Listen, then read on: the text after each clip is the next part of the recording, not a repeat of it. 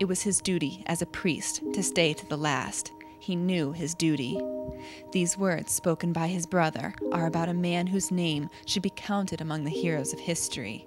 Father Thomas Byles did his duty, staying on board the infamous Titanic even as it sank into icy North Atlantic waters. Father Byles' story is an example of a person who had the opportunity to save himself, was given the opportunity twice to have a seat in a lifeboat, but declined it both times and chose instead to remain behind.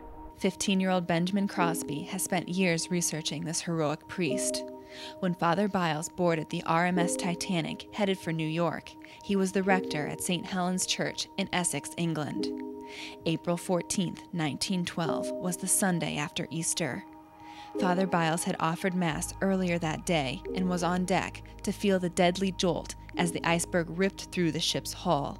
He rushed to alert the uninformed third class passengers, then ministered to those who were about to perish. Many, many survivor accounts, uh, including, for instance, Charlotte Collyer, who was a second class passenger, uh, talk about Father Byles and uh, say that they either saw or heard him praying the rosary with a group of people as the ship sank. Pope Pius X, now a saint, praised Father Byles as a martyr. The current priest at St. Helens in Essex says that Father Byles should be sainted and is calling on the faithful to pray that miracles be granted through his intercession.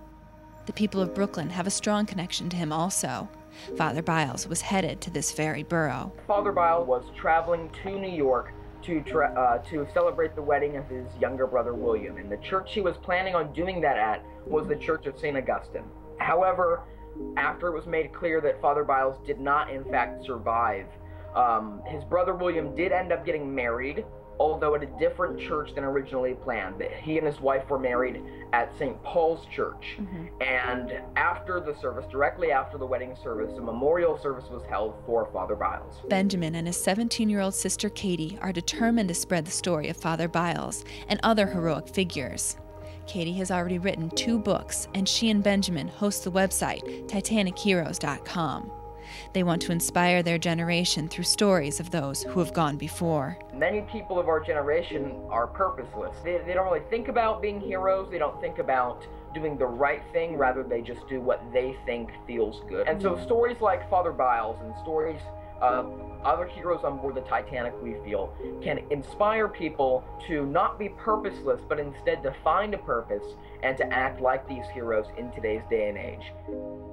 Preaching at Mass just before tragedy struck, Father Byles warned against getting lost in a spiritual shipwreck in times of temptation, advising all to use the lifebelt of prayer and the sacraments so that their souls might be saved. Reporting for Currents, I'm Katie Breidenbach.